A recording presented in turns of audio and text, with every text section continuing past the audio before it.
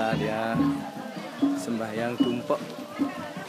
Tumpuk warigo menghormati hari di mana kita mengucapkan puji syukur kehadapan Ida Sang Yang Widi. Kita diberikan kesejahteraan melalui tumbuh-tumbuhan yang memberikan penghidupan kepada kita. Inilah dia semeton Bali. Di Eropa rajin ke sembahyang.